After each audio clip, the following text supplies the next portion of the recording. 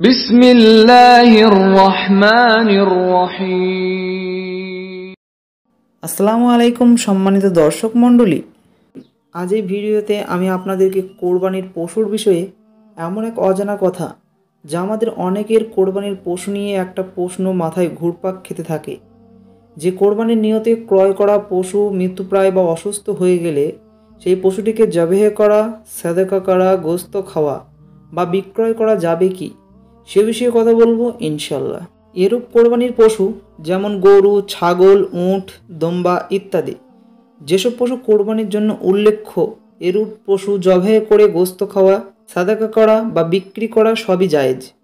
এর পরিবর্তে অন্য একটি পশু কোরবানি দেওয়া জরুরি নয়। যদি আপনার সামর্থ্য থাকে, তাহলে অবশ্যই কোরবানি দিতে হবে।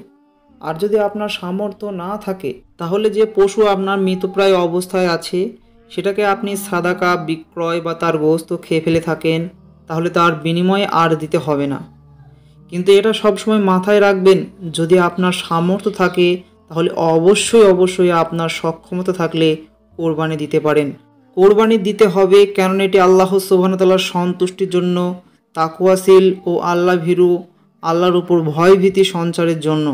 সম্মানিত দর্শক মণ্ডলী এই ভিডিও দেখে যদি আপনাদের কোরবানির পশু সম্বন্ধে কোনো মন্তব্য বা কোনো কিছু জানার থাকে, অবশ্যই ভিডিওর কমেন্ট বক্সে কমেন্ট করে জানিয়ে দেবেন। আর ইসলামিক সত্য ঘটনা বা ইসলামের সততা যাচাই করে নেওয়ার জন্য এই চ্যানেলের সঙ্গেই থাকবেন। আর আপনি যদি চ্যানেলে নতুন হয়ে থাকেন, অবশ্যই চ্যানেলটিকে সাবস্ক্রাইব করে পাশের বেল আইকনটি প্রেস করুন। আর এই চ্যানেলের সঙ্গেই থাকুন।